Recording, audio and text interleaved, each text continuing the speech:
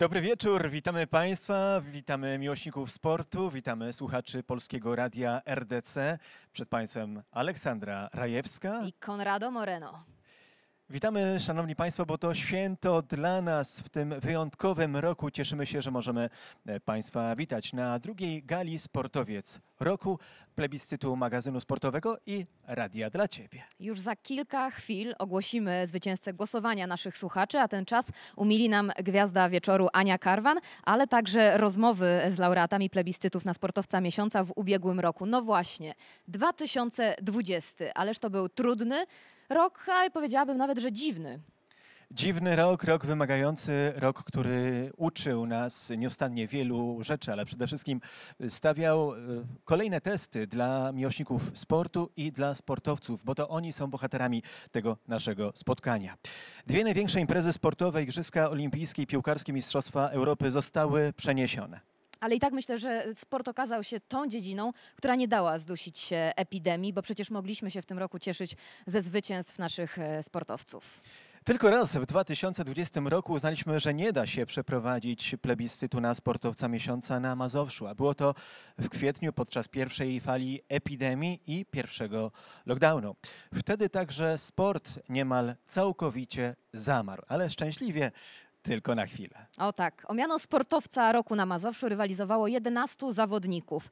Zanim ogłosimy, który z naszych sportowców e, zwyciężył w tym plebiscycie, pomówmy może o tym samym plebiscycie. I tym samym, drodzy Państwo, zapraszam na scenę szefa redakcji informacji Radia dla Ciebie, Filipa Gąsiora.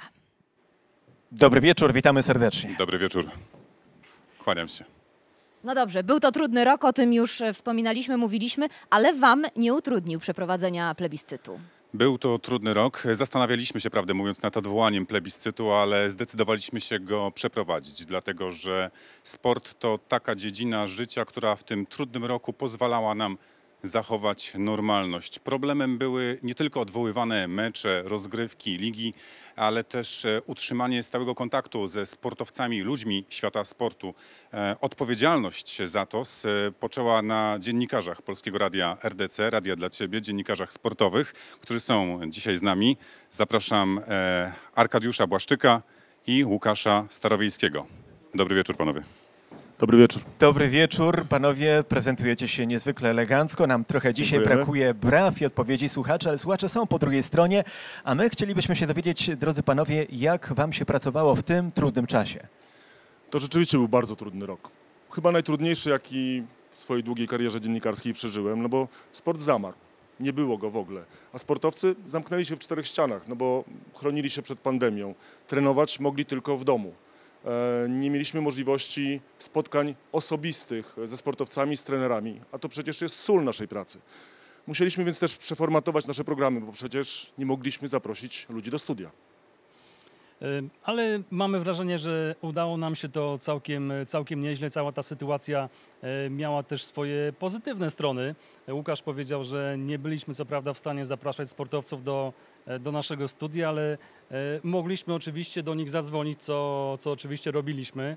A to, że mieli więcej wolnego czasu sprawiło, że e, łatwiej było ich namówić na rozmowę, na udział w audycji. E, Stali się bardziej też otwarci na dziennikarzy i paradoksalnie e, odseparowani od siebie, ale mam wrażenie, że dziennikarze i e, sportowcy zbliżyli się w tym czasie do, m, do siebie. E, Nie wszyscy może mają taką świadomość, ale e, zaproszenie do studia e, sportowca czy, czy trenera, e, szczególnie z tego sportowego topu, e, szczególnie jeśli ma się magazyn o 9 rano, to wcale nie musi być taki, e, taka prosta sprawa.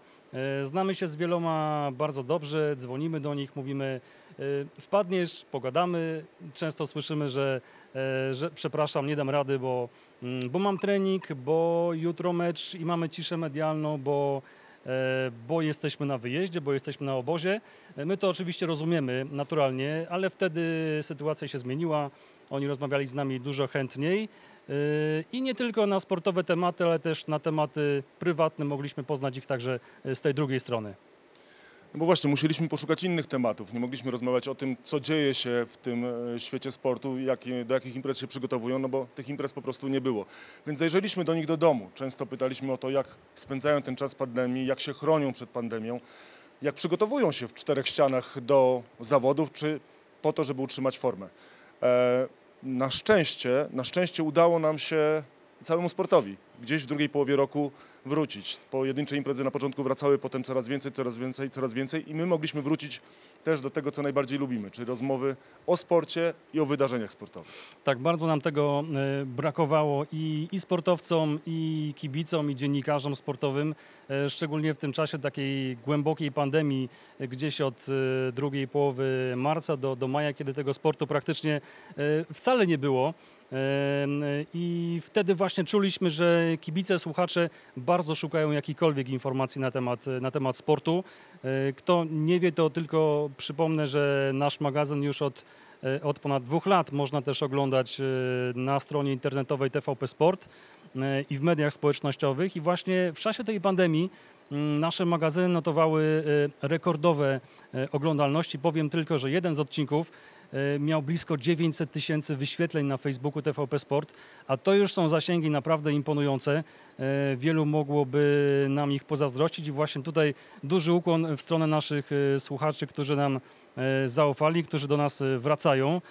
I to też pewnie Łukasz potwierdzi, dla nas to powód do dużej zawodowej satysfakcji. Też dlatego mam wrażenie, że magazyn sportowy RDC w trakcie tej pandemii stał się E, stał się taką małą sportową marką, e, do której kibice wracają, pozostała w ich świadomości, a wracają dlatego, że e, wiedzą, że u nas spotkają fantastycznych gości ze świata sportu.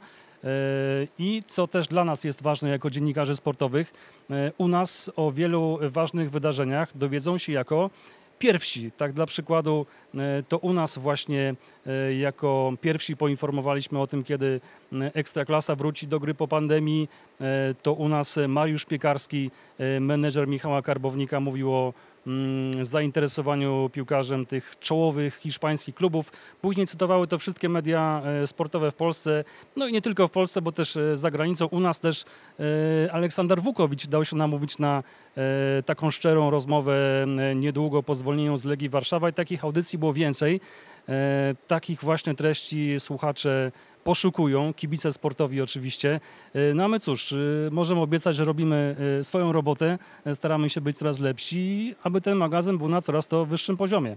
No bo to wszystko nam daje wielką motywację do tego, żeby każdy kolejny program był coraz lepszy, bo tak to jest z programami, że jesteś tylko tak dobry jak twój ostatni program, więc będziemy starali się, żeby każdy następny był coraz lepszy i lepszy. I tak wyglądają szczegóły naszej kuchni dziennikarskiej. Ja jeszcze dwa słowa o tym, jak wyglądają zasady plebiscytu magazynu sportowego mm, na sportowca miesiąca. Spośród trzech kandydatów, jak wspomniał e, Arek, od dwóch lat wybieramy tego jednego, który otrzymuje tytuł sportowca miesiąca. Dziś, jak wspomniała Ola, przedstawimy sylwetki 11 zwycięzców na sportowca miesiąca, a pośród nich znajduje się zwycięzca plebiscytu magazynu sportowego Radia dla Ciebie na sportowca roku 2020 na Mazowszu. To teraz już wszystko jasne. Panowie, bardzo serdecznie dziękujemy. Dziękujemy, dziękujemy. bardzo. Dziękujemy. dziękujemy serdecznie, dziękujemy za wyjaśnienia, choć sportowe emocje już nam się udzielają i chcielibyśmy poznać sylwetki naszych laureatów. To Ale jeszcze, studzimy się, tak studzimy jest się czas jeszcze. na muzyczną gwiazdę tej naszej gali. Przed nami Ania Karwan i Aleja Gwiazd.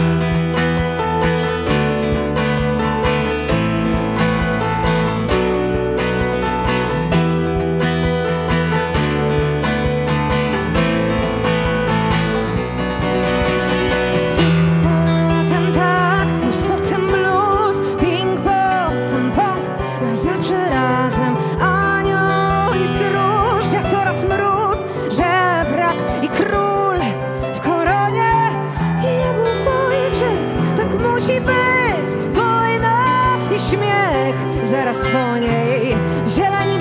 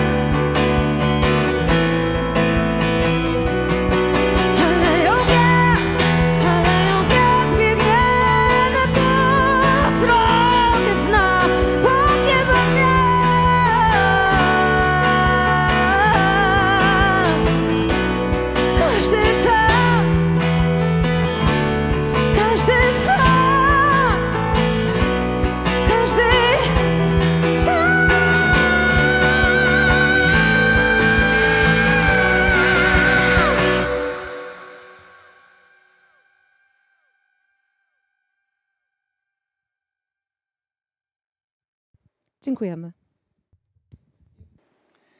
Szanowni Państwo, to był przedsmak dzisiejszego występu gwiazdy muzycznej naszej gali. Ania Karwan jeszcze do nas wróci, a teraz pora przejść do najważniejszej części naszego spotkania. Danie główne i przedstawienie laureatów e, naszych plebiscytów na, sportowcych, na sportowców kolejnych miesięcy 2020 roku.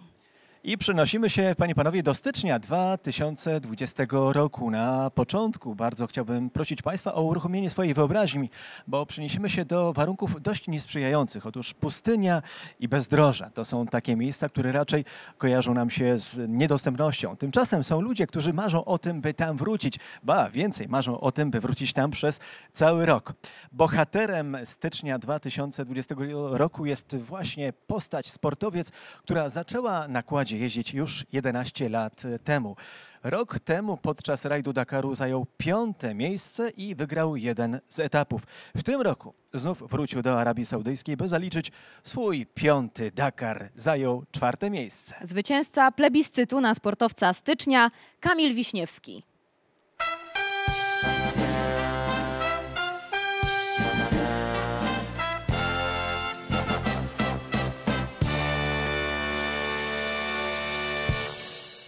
Drodzy Państwo, z naszym laureatem rozmawiał e, Łukasz e, Starowiejski. Już do Panów się przenosimy. Zapytam kolokwialnie, co cię grzeje? Grzeje mnie silnik, grzeje mnie słońce w dzień. e, W nocy na Dakarze, gdy, gdy startujemy, jest chłodno. No i grzeje mnie ogólnie rajd Dakar, przygotowania do rajdu Dakar, więc dużo rzeczy mnie grzeje, ale wszystko związane jest z rajdami, tak jak.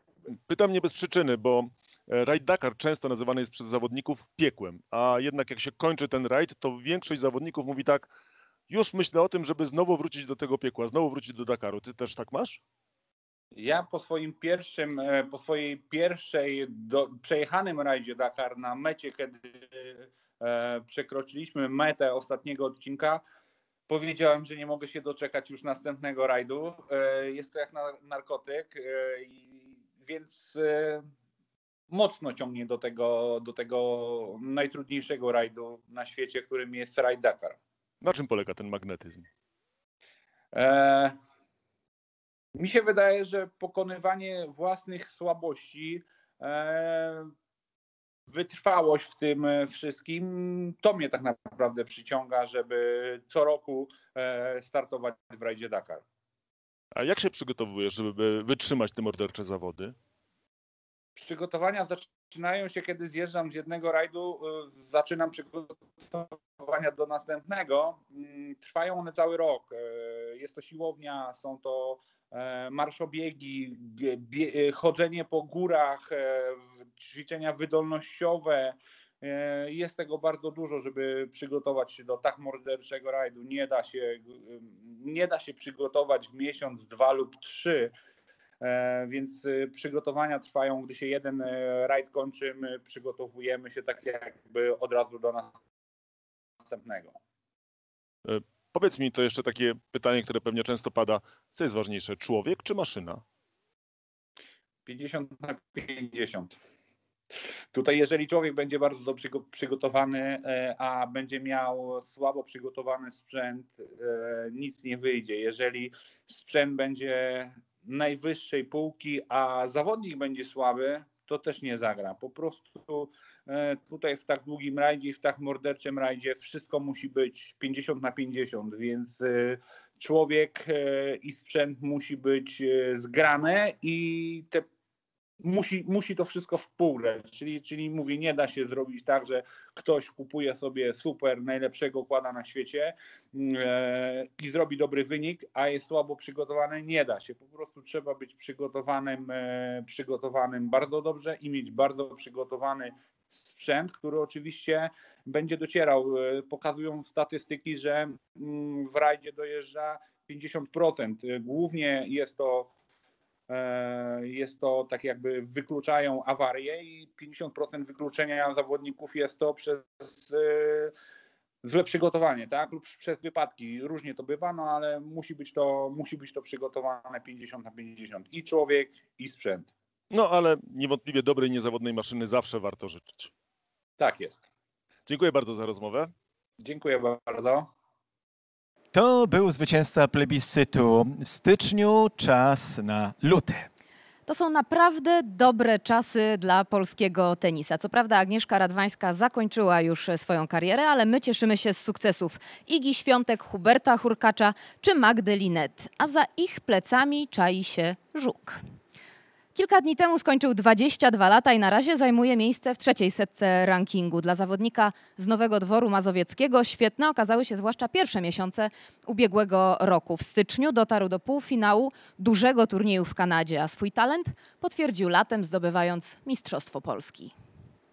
Sportowiec y, lutego Kacper Żuk.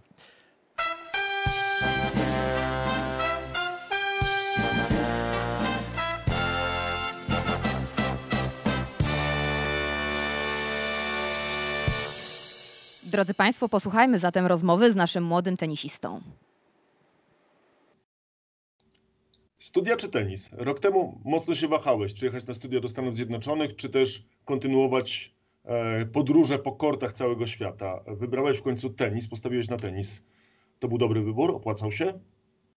No myślę, że z perspektywy czasu i patrząc na to, jak teraz ta cała sytuacja wygląda, to zdecydowanie był to bardzo dobry wybór, bo tak naprawdę też e, dzięki temu jakby postawiłem sobie też nowe wyzwanie, które chciałem realizować, czyli jednak skupić się w 100% na tym zawodowym tenisie, e, ciężko pracować i myślę, że też e, z czasem jakby zacząłem rozumieć, że to była dobra decyzja, cały czas kontynuowałem tą ciężką pracę i myślę, że z perspektywy czasu zdecydowanie na plus.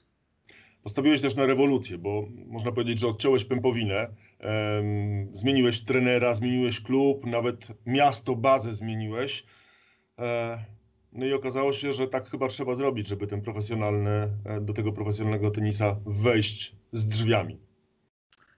No zgadza się. Też e, przez większość mojego życia jakby bałem się zmian takich większych, żeby czasem też postawić na swoje i myślę, że wtedy ten ponad rok temu postawiłem właśnie taką, odciąłem tą pępowinę i postawiłem jednak sobie to założenie, że no albo coś zmienię w swoim tenisie, no albo po prostu pójdzie to w stronę tego, że polecę do Stanów na te 3-4 lata i, i tak naprawdę z tym zawodowym tenisem przez ten okres e, nie będę miał dużo do czynienia. I uważam to też z perspektywy czasu, że udowodniłem sobie, że jednak e, potrafię stawiać na swoim i przełożyło się to na zdecydowanie lepsze wyniki i też na mój rozwój. Teraz trenujesz, zmieniłeś trenera z Aleksandrem Harpantidisem, e, czyli szkoleniowcem m.in. Huberta Hurkacza. Co się zmieniło w Twoim tenisie? E, ja myślę, że przede wszystkim e, trener pokazał mi, że ciężka praca przynosi efekty, ponieważ no wcześniej to było tak, że można powiedzieć do tych jeszcze w kategoriach juniorskich, no to rzeczywiście można dużo talentem przejść jakby te jednak e, dysproporcje pomiędzy zawodnikami z talentem a bez są bardzo duże, ale jednak kiedy już się przychodzi do tego zawodowego sportu, no tutaj już e, talent odgrywa troszkę mniejszą rolę, tutaj już wszystko przechodzi tak naprawdę w ciężką pracę i on też mi pokazał, że jednak e, dzięki tym takiej rutynie codziennej potem te wyniki zdecydowanie są dużo lepsze, jeżeli skupiamy się na tym tenisie po prostu w 100%. Teraz jesteś w połowie trzeciej setki rankingu światowego. Plany takie są, żebyś gdzieś o te 100 pozycji mniej więcej awansował w tym roku. To jest możliwe? Oczywiście, wszystko jest możliwe. Tak e, też jakby nie stawiam sobie celów rankingowych na ten rok. Ja tutaj cały czas podchodzę do tego, że jestem jeszcze młodym zawodnikiem, cały czas się rozwijam. Wiem, że w każdym elemencie swojego tenisa jestem w stanie się poprawić i po prostu czekam na taki moment, w którym E, nadejdzie ta chwila, że to wszystko zaskoczy i po prostu e, jeszcze lepiej zacznę grać i po prostu przesuwać się w rankingu. Jesteś dobry w pakowaniu walizek? Bo to życie tenisisty to jest tak naprawdę życie na walizkach. Takiego... No, no myślę, że każdy tenisista jest e, dobry w pakowaniu walizek, bo tu jednak z tygodnia na tydzień podróżujemy, więc to trzeba już wszystko mieć opanowane, jak to działa. Ile czasu zajmuje Ci spakowanie wszystkiego? E, no teraz myślę, że to będzie 10 minut. Już wiem e, wszystko, gdzie spakować, jak spakować, więc to jest naprawdę krótka chwila i mógłbym od razu lecieć. Dziękuję Ci bardzo za rozmowę. Powodzenia w takim razie. Dziękuję. Bardzo... Czas, tak, no, czas, przerywamy sobie, czas. ale tutaj chyba emocje nam się również udzielają. Jesteśmy spragnieni tego, by A dopiero sobie jesteśmy na początku. I, I, słyszeć drugiego człowieka, ale cały czas wierzymy, iż słuchacze są po drugiej stronie. Panie, panowie, rzeczywiście luty za nami. Przechodzimy do tego pięknego miesiąca, jakim jest marzec. A bohaterem jest postać, e, której ulubionym Bohaterem komiksów jest Spider-Man, a z krajów, które odwiedził, największe wrażenie zrobiła na nim Islandia. Gdyby nie został piłkarzem, prawdopodobnie zostałby strażakiem. Tak przynajmniej opowiadał sobie. Strażakiem już nie zostanie, stał się za to prawdziwą rewelacją poprzedniego sezonu Ekstraklasy. Dziewiętnastolatek przebojem wdarł się do wyjściowej jedenastki Legii, wywalczył z nią Mistrzostwo Polski i tytuł odkrycia roku. Jesienią zadebiutował w reprezentacji Polski, został zawodnikiem Brighton drużyny Premier League. No Sportowcem marca. Da, da, da, da, Michał Karbownik.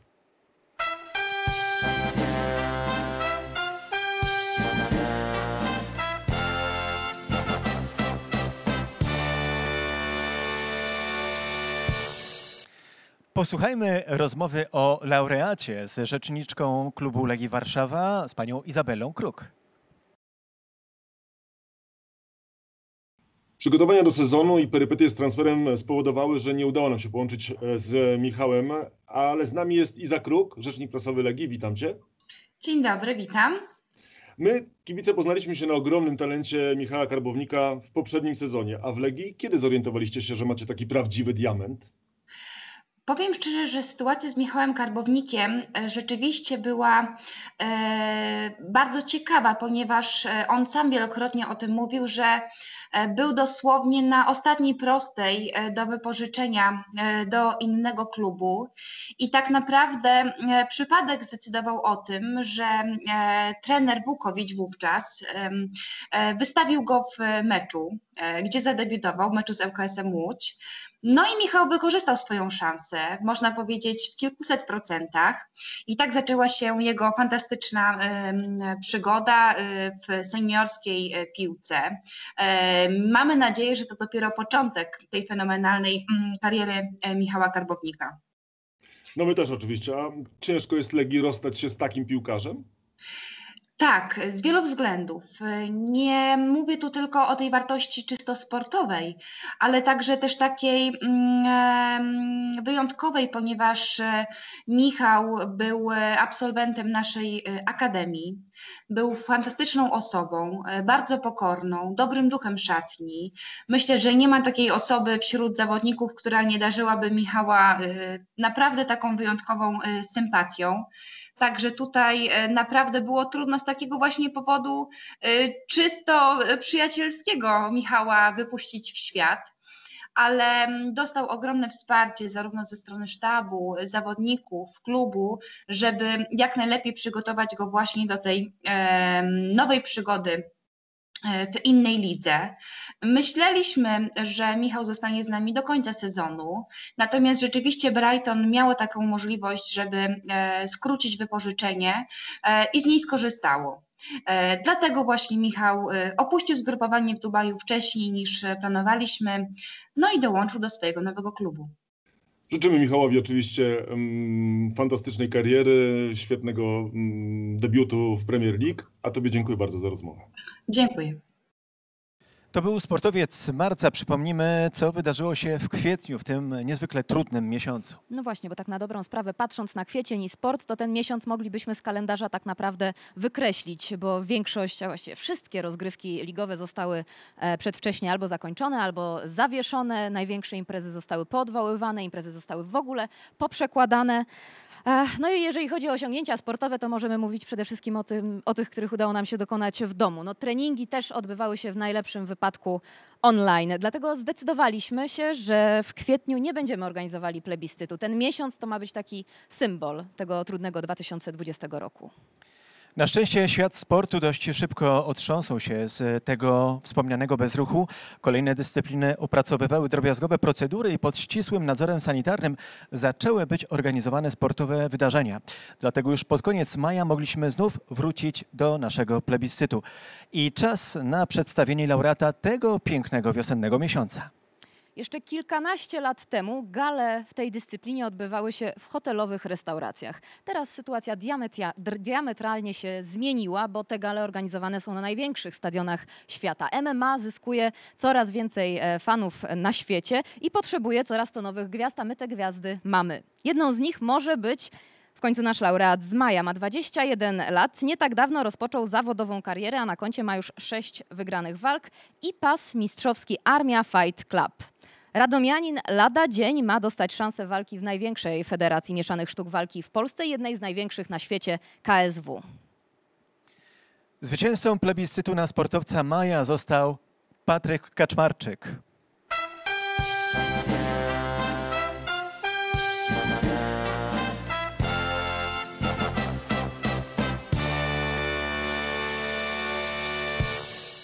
Z Patrykiem rozmawiał kto? Łukasz Starowiejski. Lubisz zmywać naczynia? Aha. Nie bardzo. Bo rok temu jeszcze, by zdobyć pieniądze na walki, e, pracowałeś na zmywaku w Szkocji. No był to, to nie był jakiś długi epizod, ale, ale, ale tak, tak było. Tak było. Nie lubię zmywać i nie zmywam. I zmywać już nie będę. To miałeś mocną motywację, żeby dobrze wystartować w MMA, jak rozumiem, po Tak, takiej tak. szkole. To, to, była jedna, jedna z nich. E, przez ten rok osiągnąłeś fantastyczny wynik. Pięć wygranych walk, cztery w zeszłym roku. E, no i wiele osób mówi o tobie odkrycie roku mieszanych sztuk walki. Rzeczywiście tak jest? No to już nie, nie, nie oceniać chyba. Ta, jeżeli całe środowisko tak uważa, no to, to bardzo mi miło i, i mam nadzieję, że nie tylko odkrycie roku, ale, ale i przyszłe lata przyniosą równie dobre wyniki. E, sam po jednej z walk powiedziałeś, to idzie przyszłość. Skoczyłeś na oktagon, to było bardzo głośne, może najgłośniejsze twoje e, wydarzenie związane z tobą w zeszłym roku. Idzie przyszłość, to ty. No tak, tak, tak. No to było coś, co, co, co po prostu musiałem się jakoś wyróżnić poza, poza pokazaniem swoich umiejętności.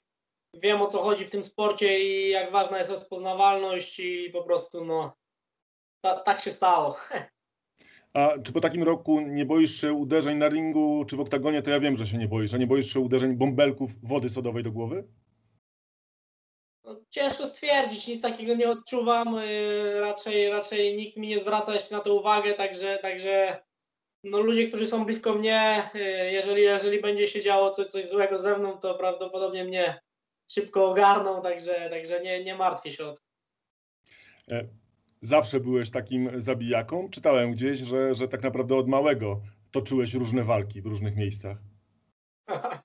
No, zdarzało się z takiej dosyć ciężkiej okolicy pochodzę, gdzie tam ciągle jakieś, jakieś e, zdarzały się jakieś konfrontacje, ale to tak jak każdy w takim dziecięcym, dziecięcym czy szkolnym wieku miał jakieś bójki, no to, to u nas było po prostu trochę więcej. Mm, rozumiem, że teraz już tylko w oktagonie. To nie ma. No i oczywiście w sali treningowej. Tak, tak, zdecydowanie, zdecydowanie nie, nie w głowie mi jakieś, jakieś inne, inne problemy, tylko jeżeli, jeżeli sporty walki, to tylko, to tylko jako sport. Nie, wiem, nie wierzę, żebyś nie myślał o tym i nie marzył o tym, żeby jednak wystąpić w UFC e, i pójść drogą Jana Błachowicza, czyli e, wiele walk i na koniec pas Mistrza Świata UFC. Takie marzenia masz, taki sufit? Yy, To znaczy tak, no, na pewno to jest, to jest marzenie każdego z zawodników. Ja nie będę jakoś tam głośno krzyczał o tym, że zostanę mistrzem UFC, bo wiem jakie to jest, jakie to jest yy, ciężkie do wykonania.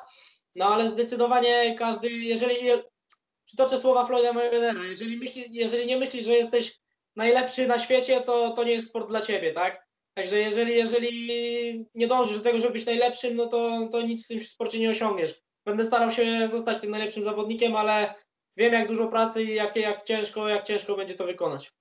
No to oby nie było tak, że powiesz w którymś momencie e, pobite gary i przestaniesz marzyć, tylko e, życzę Ci, wracając do tych naczyń, których nie cierpisz e, e, zmywać, życzę Ci, żebyś został mistrzem UFC. To jest dobry plan. Bardzo dziękuję. Dziękuję Ci bardzo za rozmowę. Dzięki. No dobrze, to sprawdźmy teraz, kto został laureatem czerwca. Warto zacząć od e, pytania. Ciekaw jestem, czy znacie Państwo odpowiedź. E, Czy wiecie Państwo, ilu warszawiaków jest w podstawowym składzie Legii? Otóż e, tylko jeden. Tylko jeden piłkarz mistrzów Polski urodził się w Warszawie. Ów jedynak w pierwszej drużynie debiutował mając zaledwie 17 lat. W następnych latach kilka razy odchodził, by za każdym razem wrócić do stolicy. Po powrocie rozgrywek ligowych należał do wyróżniających się postaci warszawskiej drużyny, która zdobyła Mistrzostwo Polski. W poprzednim sezonie wystąpił aż w 37 spotkaniach. Sportowcem czerwca w plebiscycie magazynu sportowego Radia RDC został Mateusz Wieteska.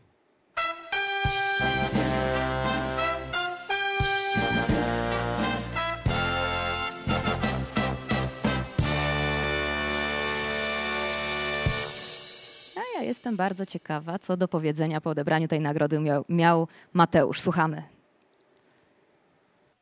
Mateusz, obiecałeś mi, że odpowiesz na każde pytanie. Tak, tak powiedziałem. Powiedz mi, czy e, wolałbyś wywalczyć stałe miejsce w pierwszym składzie Legii, czy może wygrać 10 milionów w Totka? Nie no, myślę, że e, dla mnie najważniejszą jest, e, najważniejsza jest gra w piłkę i, i super by było, żebym już na stałe walczył sobie miejsce właśnie w tej pierwszej 11 Legii. Może mi się to przez, przez ten okres, jaki jestem w Legii, e, w 100% nie udaje, ale, ale wciąż to wierzę, że, że po prostu przyjdzie taki czas, że, że, że będę e, jako pierwszy wybierany do pierwszej jedenastki. A ja zapytam teraz e, z innej beczki. A jakiego języka zagranicznego uczysz się najintensywniej? Nie uczę się jakiegoś dodatkowego. Na pewno umiem e, porozumieć się w języku angielskim. A innego, innego języka, którego się uczę, to, to na razie to na razie no nie uczę się, no bo nie ma do tego żadnych e, podstaw. Rozumiem, bo oczywiście to było pytanie e, podstępne o to, czy jest jakaś oferta na stole. Jak zwykle przy każdym okresie transferowym od kilku lat mówi się, że może odejdziesz z Legii. Nie masz takiej propozycji. Nie, nie, nie. Na, na ten moment nic, e, nic dla, mnie, dla mnie nie ma, więc e, myślę, że na pewno zostanę w Legii. A ewentualnie jakbyś już miał wybierać, to wymarzony kierunek? Na pewno myślę, że, że takie Włochy, Anglia to jest taki fajny kierunek, gdzie, gdzie każdy zawodnik chciałby spróbować swoich sił za granicą i tak samo jest ze mną. E, To teraz e, mm, wróćmy do mm, 2020 roku. Powiedz mi, jak oceniasz ten rok? Jaki był dla ciebie? Dla mnie był e, do połowy roku, pierwsza część roku na pewno była udana, bo dużo minut na boisku, zdobycie Mistrzostwa Polski, no cieszenie się z tego, z tego sukcesu, gdzie no w drugim sezonie dopiero mi się udało zdobyć to mistrzostwo, niestety w pierwszym e, mi się tego nie udało. Na pewno e, do tego czerwca, e, lipca mogę być zadowolony z tego 2020 roku. Później niestety przydarzyły mi się kontuzje, które e, można nazwać też pechowe, bo, bo to bardziej e, kontuzje od kontaktu z rywalem niż sam sobie coś zrobiłem, więc troszkę pecha miałem pod koniec tego dwu- 2020 roku, ale liczę e, i mam nadzieję, że ten pech już mnie opuścił i, i będę, będę już zdrowy przez, przez cały rok. Już wiemy, że twoim, najwię- twoim największym marzeniem nie jest wygranie w Totka. Co najmniej jedno marzenie jest większe. E, to, a jakie jest twoje największe marzenie na ten rok? Na pewno e, wywalczenie sobie właśnie tego składu, co, co, co rozmawialiśmy na początku i, i zdobycie dwóch, e, dwóch e, pucharów z Legią, które, które mam do zdobycia, czyli Mistrzostwo Polski i Puchar Polski.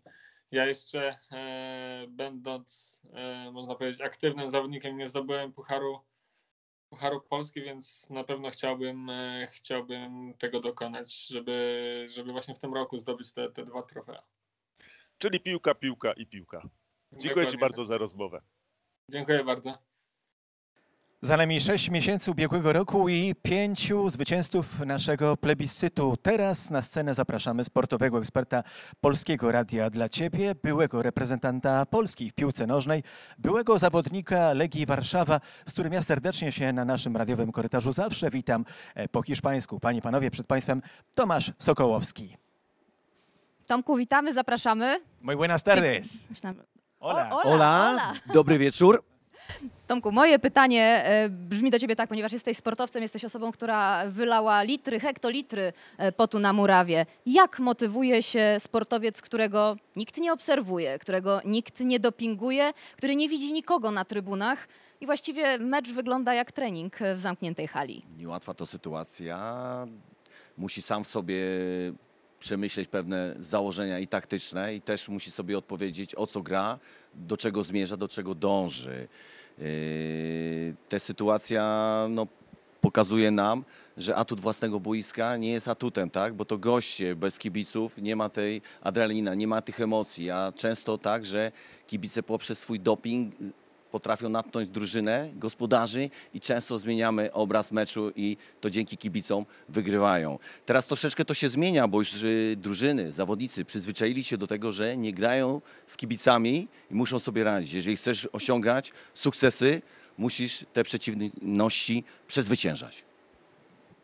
Tego życzymy sobie, tego życzymy sportowcom. Tomku, dziękujemy serdecznie. Dziękuję bardzo. Ja myślę, że możemy powiedzieć, że świetnie w ogóle sportowcy poradzili sobie przezwyciężając te, te trudności i powoli chyba do takiej sytuacji, czyli do pustych trybun się przyzwyczajają, ale miejmy nadzieję, że nie będziemy musieli się dłużej przyzwyczajać, tylko coś drgnie, coś się zmieni. Tego sobie życzymy, natomiast jeśli chodzi o ten sprawdzian, któremu są poddawani sportowcy, to rzeczywiście najlepszym dowodem tego, jaki sukces stanowi dla nich zmierzenie się z tą trudną sytuacją, jest plebiscyt, którego jesteśmy świadkami. Panie, panowie, a my teraz przechodzimy do kolejnego miesiąca. Przed nami lipiec. Tak jest. E, Konrado, myślę, że ze mną się zgodzisz, że kariera sportowca bywa jak taka sinusoida. Tego doświadczyło e, wielu zawodników i doświadczył także nasz laureat e, lipca. Jeżeli chodzi o lipiec, to lipiec był dla niego piękny, bo zdobył ze swoim zespołem Mistrzostwo Polski, został wybrany najlepszym zawodnikiem swojego zespołu. A i został doceniony także przez innych, ponieważ, ponieważ uznano go za najlepszego pomocnika sezonu Ekstraklasy. A co się stało jesienią? Jesienią niestety stracił miejsce w podstawowej jedenastce, a miesiąc temu pożegnał się z klubem, ale on chce pamiętać te piękne momenty, te piękne chwile, czyli dwa mistrzostwa i Puchar Polski. Ja myślę, Aleksandro, że tak pięknie opowiadasz o bohaterze tego miesiąca, iż warto by było, żebyś to ty ogłosiła, kto jest zwycięzcą e, lipca. Domagoj Antolić.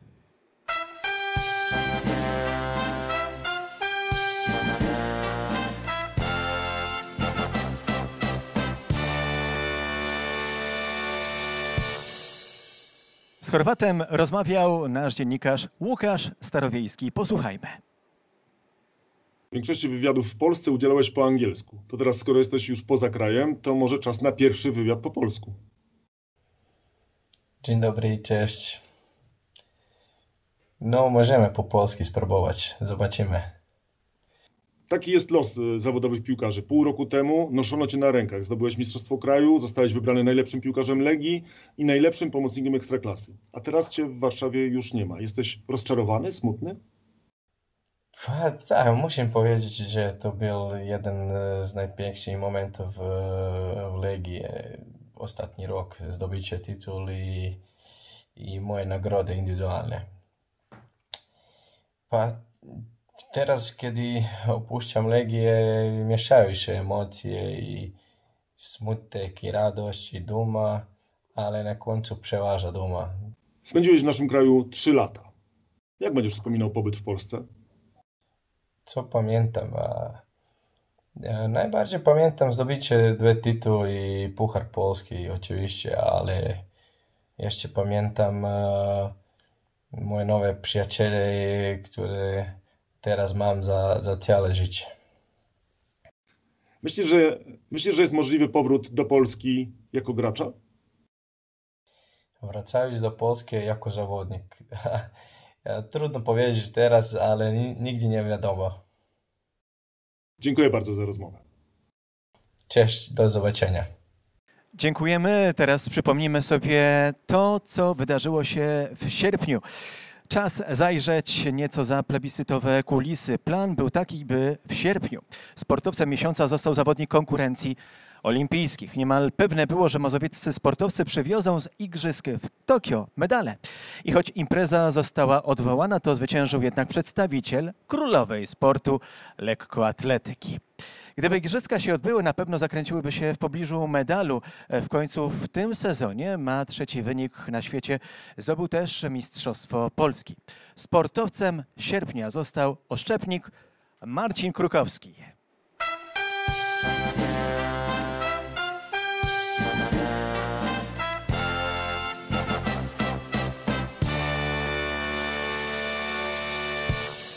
No a teraz posłuchamy Marcina Krukowskiego, co powiedział Łukaszowi Starowiejskiemu. Przed Państwem człowiek, który by osiągnąć lepsze wyniki, dał się nawet zaprząc, no może nie do pługa, ale do traktora. Te ćwiczenia Strongmana przyniosły efekt? E, No, ja witam wszystkich e, przede wszystkim. E, Jak widać było po sezonie, no, nie był to głupi pomysł. E, Sezon przebiegł, e, można powiedzieć, że prawie, że po mojej myśli.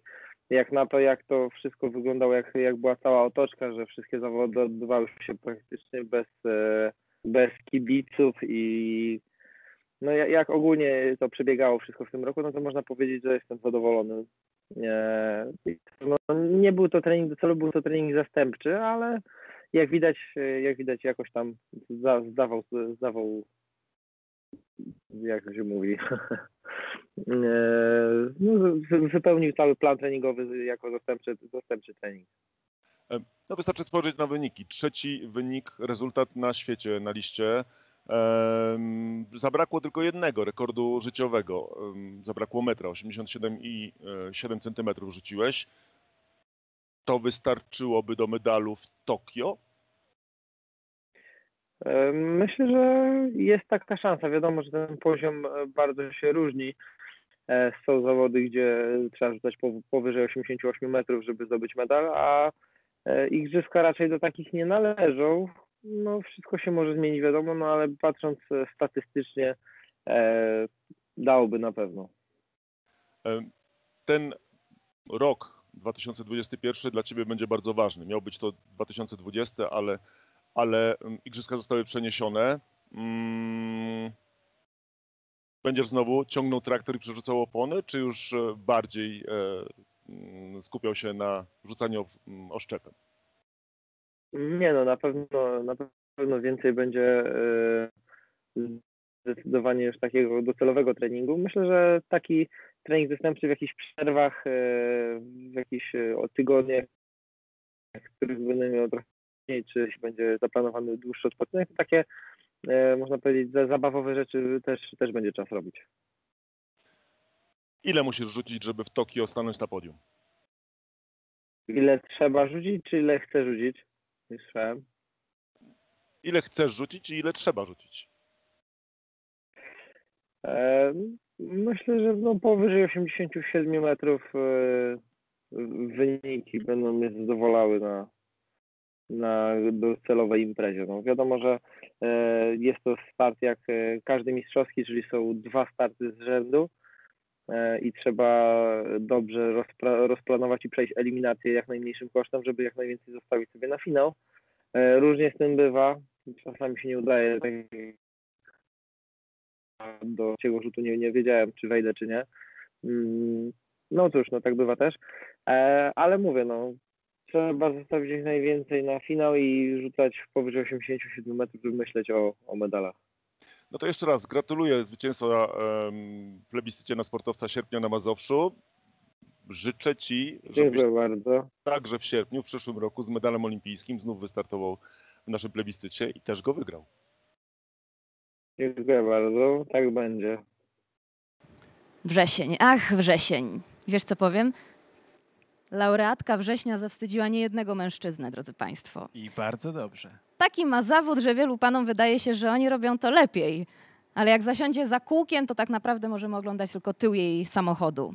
Nasz sportowiec września to jeden z najlepszych polskich kierowców wyścigowych. W tym miesiącu wygrała jedną z eliminacji wyścigowych Mistrzostw Polski, a w październiku zapewniła sobie tytuł wicemistrzyni kraju. Jeździ też w wielu innych seriach wyścigowych na polskich i zagranicznych torach. Rok temu została koordynatorką programu Kobieta w motosporcie przy Międzynarodowej Federacji Samochodowej. Konrado, o kim ja mówię? Sportowiec września, panie panowie, to Małgorzata Rdest.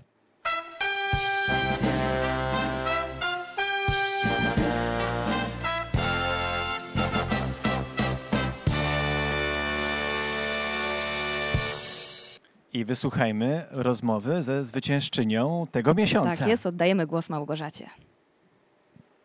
Zdarzyło Ci się ścigać z Robertem Kubicą, to prawda? Potwierdzam. Tak, Kto wygrał? zgadza się. No wtedy, wtedy akurat ja, ale Robert nie ukończył też tego wyścigu, ale szanse mieliśmy nierówne, ponieważ reprezentowaliśmy e, zupełnie inną kategorię. On wtedy startował ze sterami Porsche, a ja startowałam za sterami em, Seat Leona e, w kategorii TCR, ale wspólnie zaliczyliśmy występ w 24-godzinnym wyścigu w Dubaju. I tym bardziej było to wyjątkowe, bo było to w moje urodziny, także lepszego prezentu nie mogłam sobie wymarzyć. No, wygrać z Kubicą w urodziny to idealna sprawa, bez względu na to, czy ukończył, czy nie ukończył. A powiedz mi, bo jest taki stereotyp, że e, dodam niesłuszny według mnie, że kobieta nie może być dobrym kierowcą. Często się z nim spotykasz, często z nim walczysz? Teraz już coraz rzadziej, co mnie na pewno bardzo cieszy, ale jak tylko dołączyłam do tej motoryzacyjnej, motorsportowej rodziny, to faktycznie pojawiało się niedowierzanie, może nawet troszkę lekceważenie, kpienie e, z możliwości dziewczyny, kobiety, ale teraz już, już nie.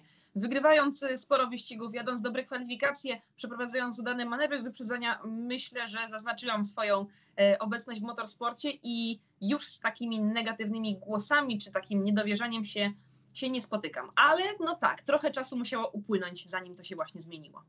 A są tacy faceci, co są, nie są w stanie się pogodzić z tym, wymyślają usprawiedliwienia, obrażają się albo coś w tym stylu? Jak no trochę tak, myślę, że tak, ale to, to najbardziej odczułam w kartingu halowym, kiedy to po prostu była jazda do upadłego, żeby tylko poprawić ten mój najlepszy czas okrążenia. E, W samym kartingu, jak już weszło się na ten etap e, profesjonalnego sportu, no to bardziej jest traktowanie e, zarówno kobiety, jak i mężczyzny na równi z równym. Ale na początku, czy w kartingu halowym, czy nawet jak jedzie się po, po drodze publicznej, no to zdarza się, że ktoś chce mnie wypuścić, żebym wziął udział w jakimś tam szatańskim ulicznym wyścigu, ale to wiadomo, no nie daje się. Mm, Ale zgodzę się, że jednak ciężko jest mężczyźnie, chłopakowi pogodzić się z tym, że kobieta, dziewczyna może być szybsza.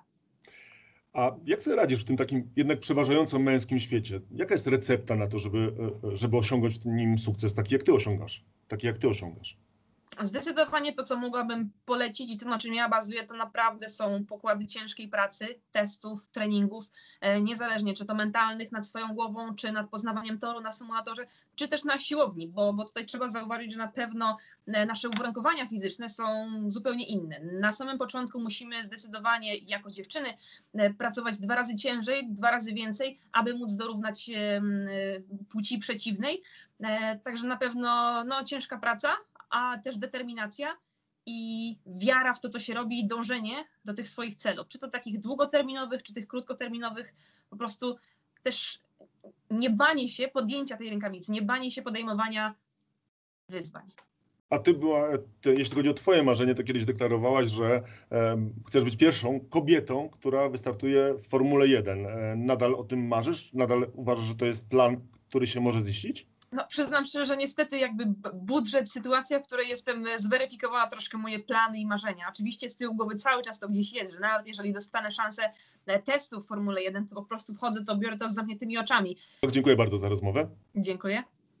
Dziękujemy serdecznie, panie Rado to panowie. była jedyna zwyciężczyni w ubiegłorocznym plebiscycie. Zdajesz sobie z tego sprawę? Ja wierzę, jestem przekonany, że za rok będzie ich znacznie więcej. Będziemy Państwa obserwowali. No dobrze, a kto wygrał w październiku? Jesteśmy już przy październiku. No właśnie, panie i panowie, zacznijmy od tego, iż wielu z jego kolegów e, z drużyny i przeciwników mogłoby być jego synami. Nie chcemy nikomu wypominać e, wieku, raczej podziwiamy.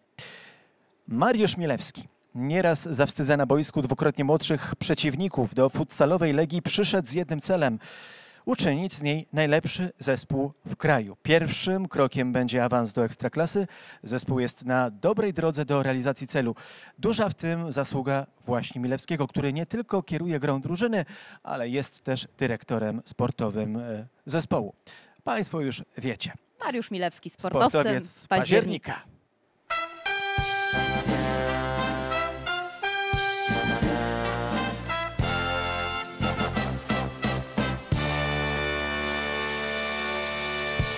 A z naszym laureatem e, rozmawiać będzie Łukasz Starowiejski.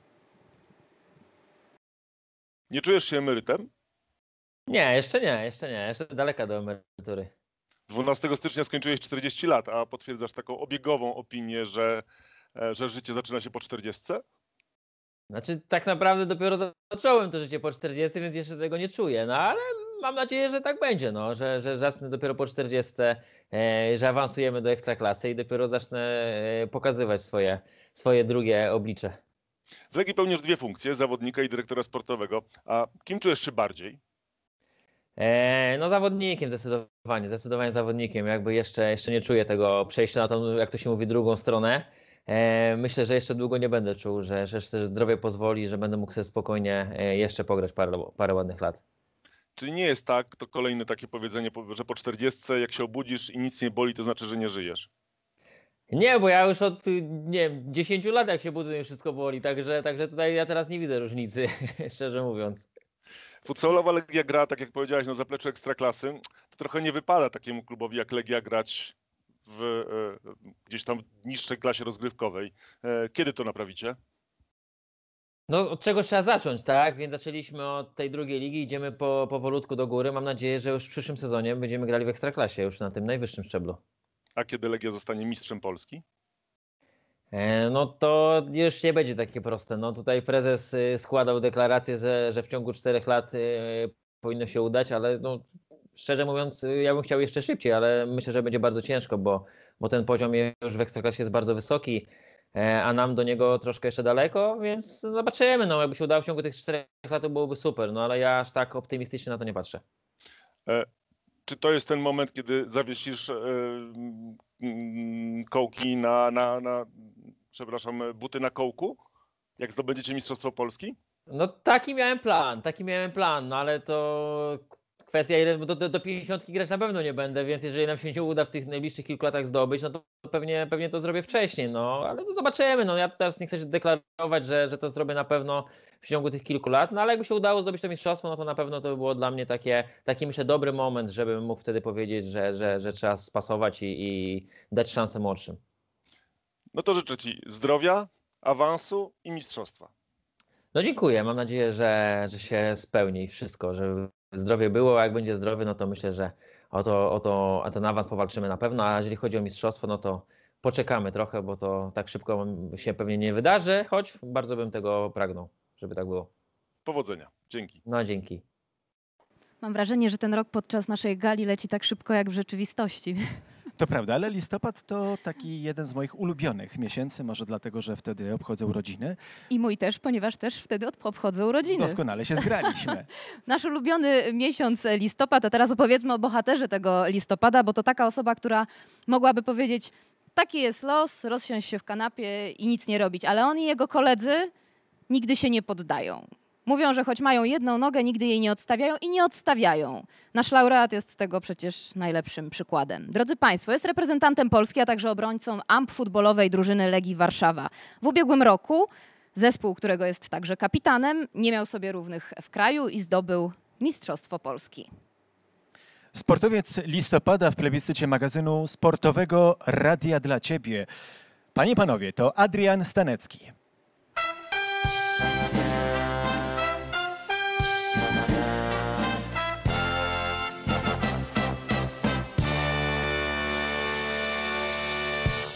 Drodzy Państwo, posłuchajmy zatem rozmowy z naszym laureatem. Z nami człowiek, dla którego powiedzenie na jednej nodze, czyli bardzo szybko, nabiera zupełnie innego, bo dosłownego znaczenia. No tak, dokładnie. Tutaj wiele osób, z, z którymi e, przebywam, z którymi, e, nie wiem, pracuję, często właśnie zwracają się tak do mnie, Adrian, dawaj, dawaj szybko, bo nie mam czasu na jednej, tak na jednej nodze, tak na jednej nodze a później po prostu nagle sobie zdają sprawę, ups, chyba popełniłem jakąś gafę. No nie do końca, po prostu mówię, słuchaj, dla mnie to, to, to jest e, normalny e, zwrot, tak jak, e, tak jak każdy inny, tylko że u mnie trochę bardziej dosłownie wybrzmiewa, no, gdyż poruszam się właśnie na jednej nodze i okulach, a proteza gdzieś kamufluje tą moją niepełnosprawność. Zresztą to, to, to hasło na jednej nodze mm, wy wykorzystujecie E, robicie z niego siłę tak naprawdę, wykorzystujecie je w promocji swojej dyscypliny. Jak najbardziej. No tutaj e, czy w reprezentacji jedną nogą w finale, czy w tam, futbolowej legii, gdzie mamy bez ręki, bez nogi, zawsze gotowi. E, to hasło już się nawet pojawia w przyśpiewkach, którzy, które kibice układają specjalnie pod naszą dyscyplinę. E, w czasie jednego meczu na tej jednej nodze i dwóch kulach potraficie przebiec, przebiec 7 kilometrów. To dla każdej osoby, która kiedykolwiek chodziła o kulach, wydaje się w ogóle niemożliwe, nieprawdopodobne. Wszystko, co jest niemożliwe, gdzieś tam e, da się e, spełnić. Tak? To jest tylko kwestia czasu, pracy, e, wysiłku, jaki włożymy w trening i każdy, każdy, kto po prostu stanąłby w takiej sytuacji, że musiałby poruszać się na tych kulach, pewnie na początku byłoby mu ciężko, ale później dałby razy, radę i e, doszedłby do tego poziomu, że przebiegałby te 7 e, kilometrów. To był dziwny sezon i trudny sezon dla Was. E, no wiadomo z jakich powodów, ale klub, którego jesteś kapitanem, e, cel osiągnął. Zdobyliście Mistrzostwo Polski. Dokładnie. W tamtym roku mieliśmy małą porażkę, ponieważ nie zdobyliśmy tego mistrzostwa, a tak jak e, Legia, e, tutaj nasza ekstraklasowa, chcemy zawsze walczyć o, o to, żeby, żeby wygrywać ligę i móc reprezentować, reprezentować Polskę na arenie międzynarodowej. No właśnie, a propos areny międzynarodowej, bo przyszły rok mm, będzie jeszcze bardziej ekscytujący, bo mamy nadzieję, że zostaną rozegrane Mistrzostwa Europy w Krakowie, które zostały przeniesione e, w tym roku właśnie na przyszły, na wrzesień. Na wrzesień. No i cel jeden, jedną nogą w finale. Jak najbardziej, nie ma innej możliwości. E, są Mistrzostwa Europy, jest Liga Mistrzów. Będziemy najpierw e, właśnie jako Legia Warszawa reprezentować Polskę w Lidze Mistrzów, a później we wrześniu w Krakowie właśnie walczyć o tytuł mistrza, mistrza Europy. Także miejmy nadzieję, że to będzie owocny dla nas rok 2021. W przeciwieństwie do tego, jak, jak to było w 2020, no oczywiście wygraliśmy tutaj ligę w Polsce, ale e, brakowało nam właśnie tej wielkiej imprezy, jakim były Mistrzostwa Europy. No to powodzenia i dziękuję Ci bardzo za rozmowę. Dziękuję bardzo. Do usłyszenia. Chciałbym zacząć od pewnej e, znanej wyliczanki, którą wyśpiewują pomóc. kibice, ale tak, próbuję ją właśnie przywołać rytmicznie. Raz, dwa, dwa raz, trzy. dwa, trzy. Raz, dwa, trzy. I wtedy są brawa. O ile Dobrze, oczywiście ale meksykańska drużyna... fala również ma miejsce. Jak kto lubi. Rzecz jasna, oczywiście, panie panowie, do tej wyliczanki przyzwyczajeni są przedstawiciele dyscypliny sportu, o której będziemy mówili, tym bardziej w Polsce. Biało-czerwona reprezentacja zwycięzca dwóch ostatnich mundiali, ale tym razem dwukrotny mistrz świata musiał liczyć aż do 12, bo dopiero w grudniu w naszym plebiscycie triumfował siatkarz Piotr Nowakowski. Jego zespół Werwa świetnie spisała się w pierwszym turnieju fazy grupowej Ligi Mistrzów i jest blisko awansu do fazy pucharowej. Czyli raz, dwa, trzy. Piotr Nowakowski.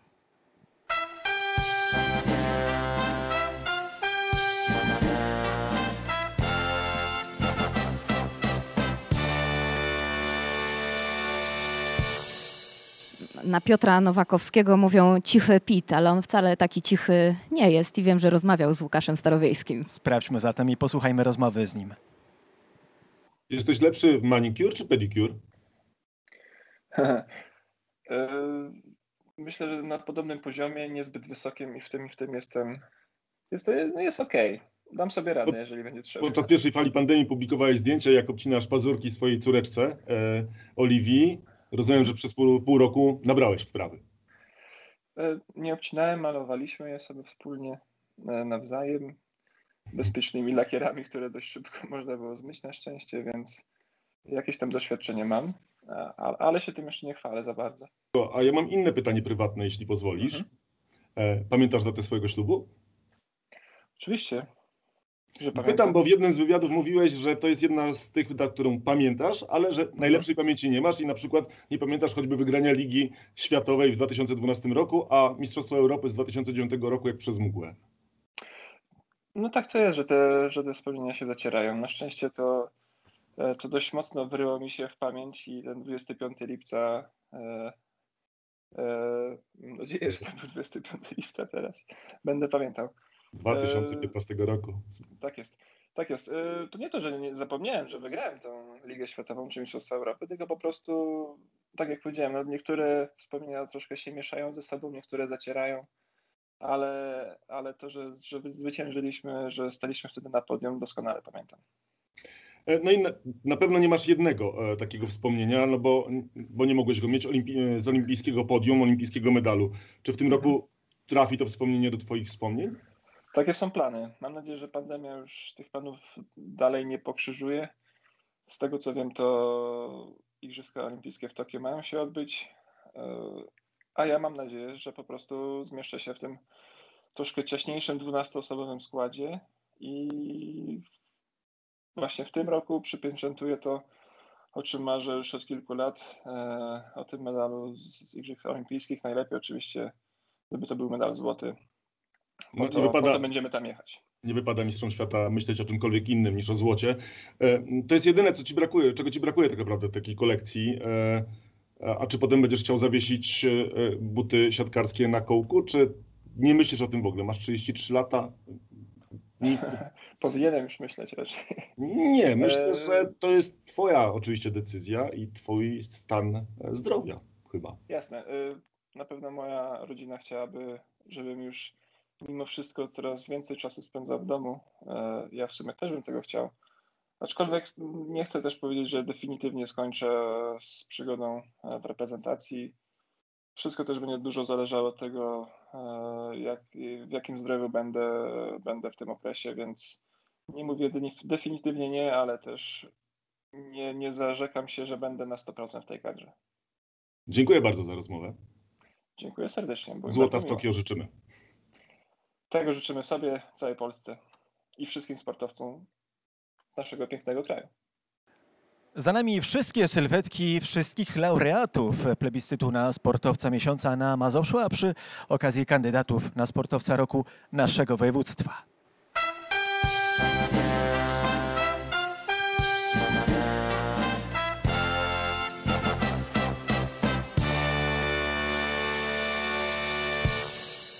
Szanowni Państwo, to już, to już teraz nadszedł ten długo wyczekiwany moment, czas na wisienkę na torcie.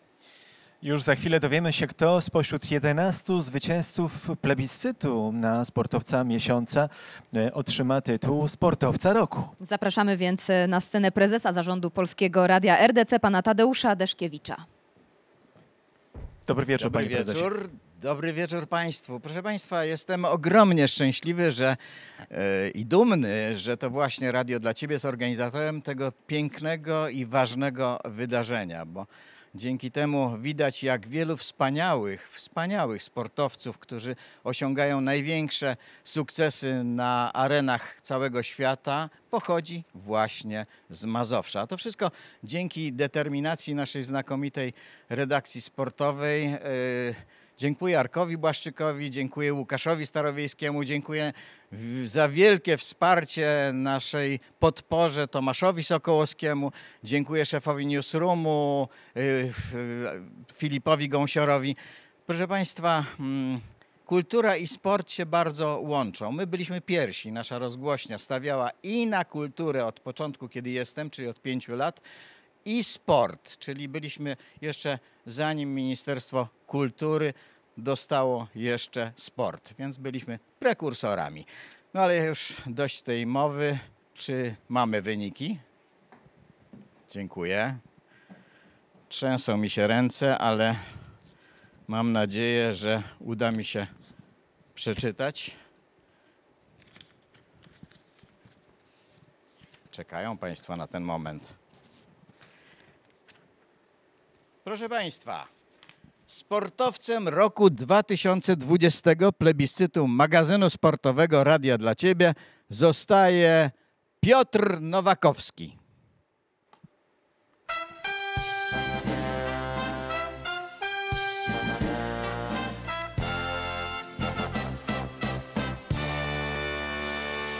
Bardzo dziękujemy za ogłoszenie zwycięzcy plebiscytu na sportowca roku, a my za sprawą technologii możemy się już wirtualnie przenieść do naszego studia, gdzie na zwycięzcę plebiscytu e, czeka Łukasz Starowiejski. Wielkie gratulacje. Sportowiec roku 2020 w plebiscycie magazynu sportowego Radia dla Ciebie. Bardzo dziękuję. Żółwik, w takich sytuacjach e, zwykle masz przygotowaną taką listę osób do podziękowań. Nie? Taką masz? Przygotowałeś? Dziś tu miałem. E, Przede wszystkim chciałbym podziękować wszystkim tym, którzy na mnie głosowali, wszystkim e, słuchaczom Radia dla Ciebie, wszystkim kibicom klubu sportowego Werwy Warszawa. A jeśli nie jesteś największym laureatem naszego plebiscytu, to na pewno najwyższym. Jak się patrzy na świat z góry? Czy patrzysz na świat z góry? Staram się jednak równać do wszystkich, tak? E, Niektórzy żartują, że jest trochę mniej tlenu tutaj na tej wysokości, ale ja się jakoś trzymam mocno na swoich nogach, także, także fajnie jest troszkę patrzeć na wszystkich z góry, ale, ale tak jak powiedziałem, staram się równać i nie wywyższać aż tak bardzo. Taka nagroda Ci nie przeszkodzi w tym momencie. Mam nadzieję, że mi nie, za, nie, Nie zaszkodzi. nie zaszkodzi na pewno.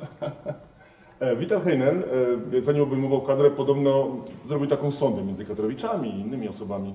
E, Kto jest najinteligentniejszą osobą w kadrze? Wiesz, kto wygrał? Domyślam się. Jak jest z taką łatką takiego mądrali drużynowego? Łatwiej, trudniej, ciężko? Nie, nie czuję żadnej presji w związku z tym.